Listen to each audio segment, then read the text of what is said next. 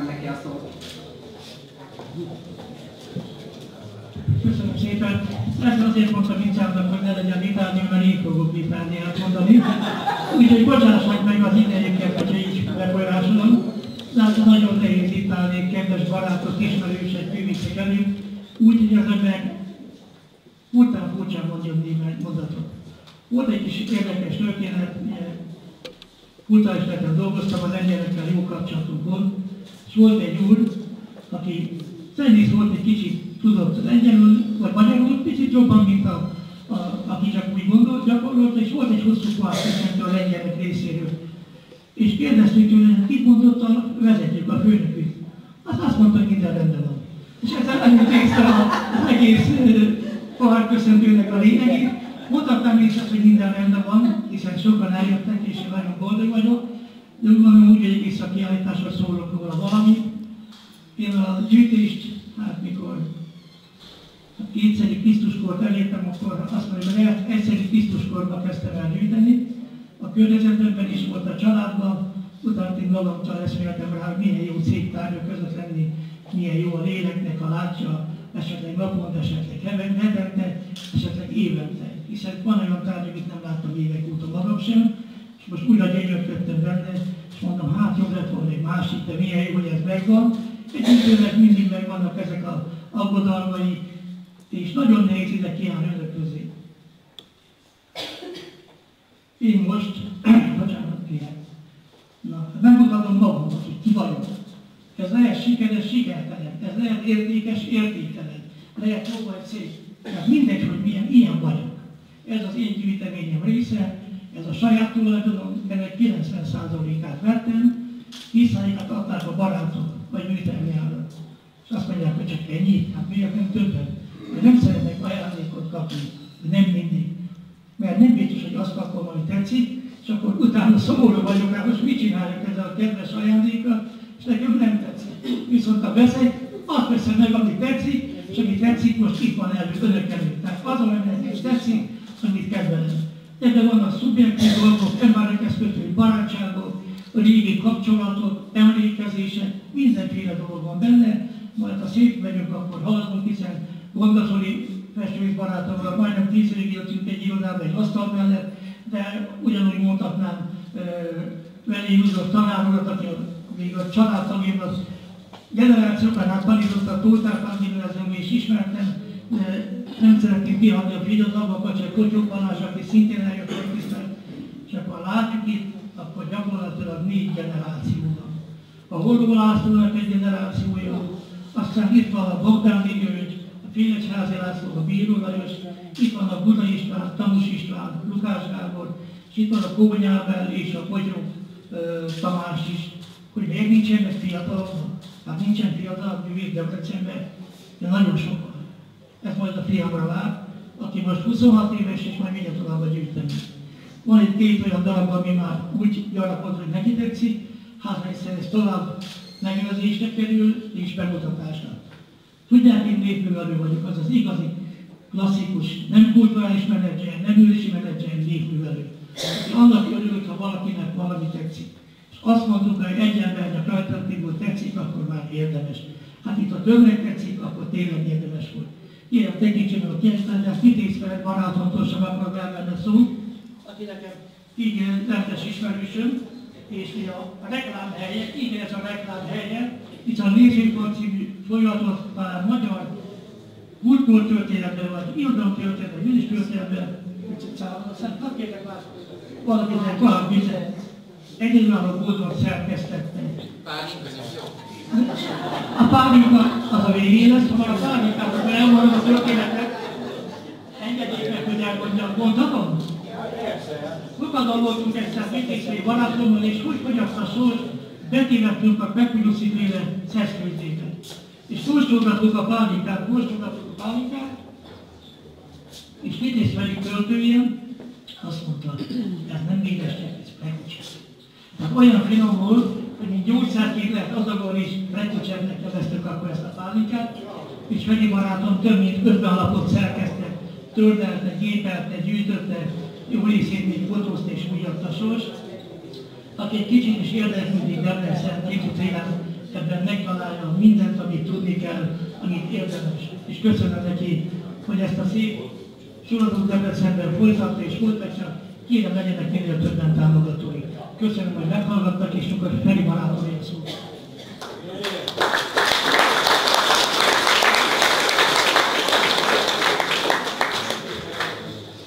Kedves barátaink, kedves közönségünk, kedves Laci, rendhagyó kiállítás megnyitónak készült ez a mostani alkalom is, hiszen Máté Laci barátom arra kért meg, hogy ne egy hagyományos megnyitó, megnyitó szöveg hangozzék el, hanem beszélgessünk. Mégsem rendhagyónak gondoltam, mert nem első alkalommal történt ez, sőt, a magángyűjtemény bemutatása is immár sokadik állomásán, állomásához érkezett. Röviden visszatekintve, 2009-ben első alkalommal Máté László az akkor még református tanítóképző főiskolán, időközben az intézmény integrálódott a Debreceni Református Hittudományi Egyetembe, annak a Bakos Tibor kisgalériájában 2009. április 11-ére összpontosítva a Városnapja alkalmából, főleg debreceni festők és grafikusok magángyűjteményében lévő anyagát mutatta be. Ez volt a, jól tudom, az első debutáló közönség előtti nagy magángyűjteményi szemlélye Lacinak. Aztán majdnem kereken egy esztendővel ezelőtt ugyanezen a helyen 2012. október 30-án e, nyílt meg egy másik válogatás Máté Laci anyagából, főleg a grafikára összpontosítva akkor a munkákat. És azon is egy beszélgetés volt a kiállítás megnyitónak a kerete. Tehát nem rendhagyó maga a forma. De időközben, mikor Laci elkezdett most beszélni, mégiscsak azt gondoltam, hogy rendhagyó, mert elvette előlem a szót, tulajdonképpen már mindent elmondott, amire szerettem volna rákérdezni. Gondolja, biztos gondolta, hogy dióhéjban összefoglal mindent, és akkor letudja. Lehet, hogy számára kínos kérdésekről nem akar majd beszélni. Például, honnan volt az a sok pénz, amiből megvásárolta ezeket a munkákat, mert kezemben van Lika Károlynak, eredetében nincs, meg nem volt annyi pénzem, hogy az aukció meg tudjam vásárolni fénymásolatban. Közönség és művészet a század végen, ez a 19. század vége, és a gyűjtők tevékenységéről rögtön írja itt a negyedik bekezdésben, a gyűjtők munkálkodásának eredménye természetesen sokféle rendű, és függ az anyagi tehetségtől is. Ezért a legnagyobb szabású gyűjtemények szerzőit leginkább a legvagyonosabbak körében találjuk. Ezt az idézetet szabadon még majd kérdezni fogok. Ez már több mint száz évvel, több mint száz évvel ezelőtti dolog, ezt nem fogod kikerülni majd a vásárlás kérdését.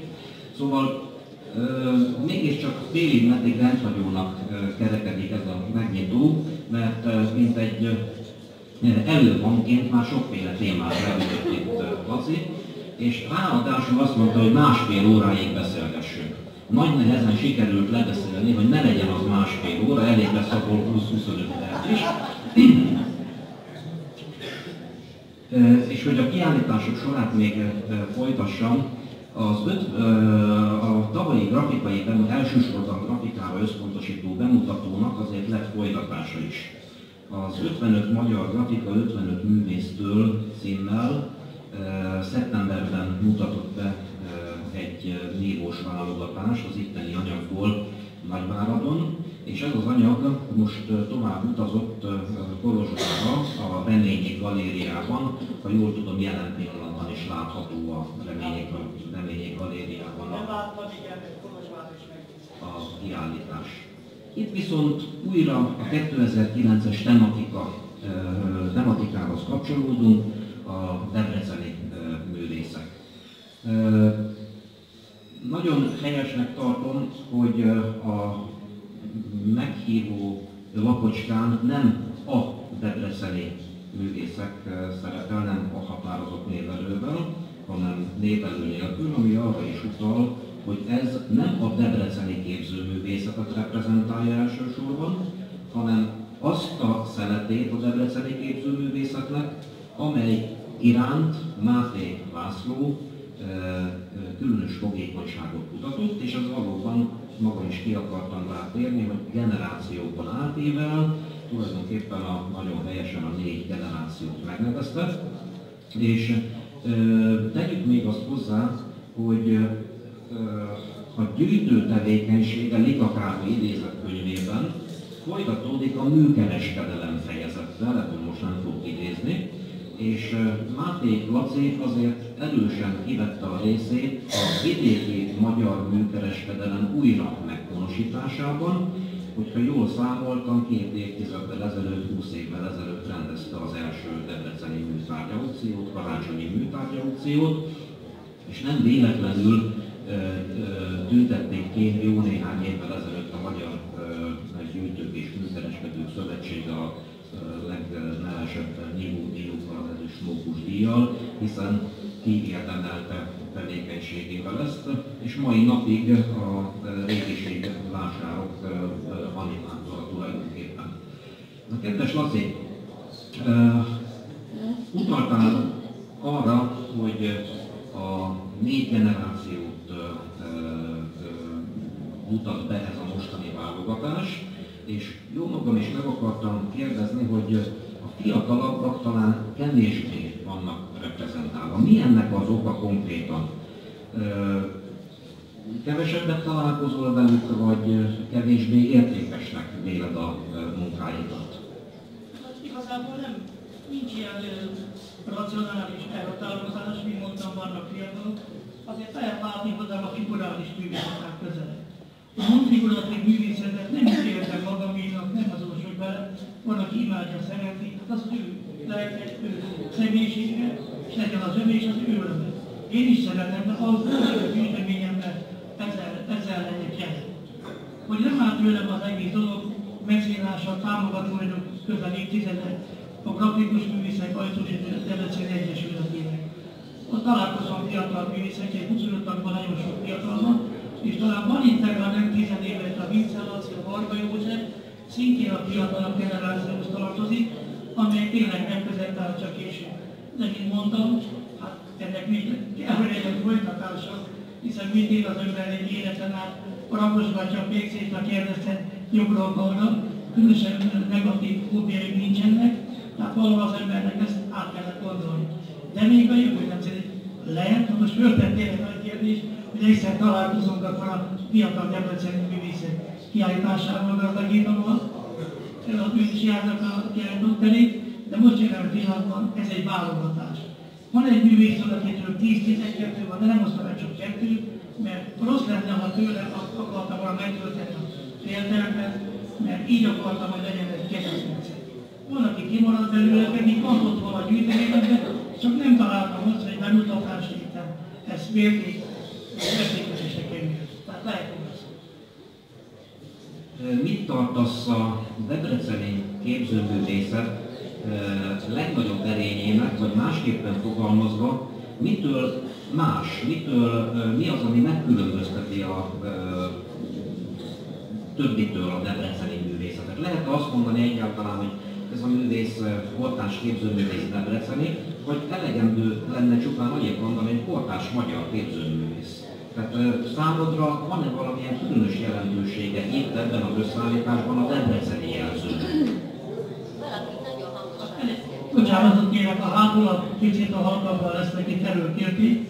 Nagyon nehéz kérdést tették fel, most megpróbálok válaszolni rá, akkor azt mondom, hogy van hely a kortás magyar képzőművészetnek, hiszen toporazás a kortás magyar képzőművészet, Bényi a kortás magyar képzőművészet, Holló László a kortás a magyar, Féles László minden képes, Dorog Sándor, Gura István, néhányan, de Megács József, nem akarok sorolni neveket, valóban beépültek a magyar kortás művészetnek egy ilyen kánonjába, néhányan a magas kánonban, néhányan az alacsonyabb kánonban, de jelen vannak aukciókon, országos kiállításokon, vásárhelyi távlaton, szegedi távlaton, Szentendrén, ki hol van, tehát létezik ez a dolog. Gondol is rengeteg nemzetközi pályázaton vesz részt, szerte hozta Kelet-Európában, díjakat nyernek, ami viszont, tehát van egy ilyen országos színvonalú. És természetesen vannak helyi, helyi rangú vagy helyi értékek is. Még mondok egy érdekességet, Villamos tanár volt, kollégám volt, munkatársam volt évtizedeken át, a kultúrai bizottságban egyszer szóba még volt a neve, és Gábori Szabó Katonnak kollégiumként a légazgatója azt mondta, biológus szobrászművész lett volna, akkor a Debrecenben 40 szobrászművész volt. Tehát annyira jó tanár és pedagógus volt, hogy generációk kötődtek hozzá, sokan tekintették mesterüknek.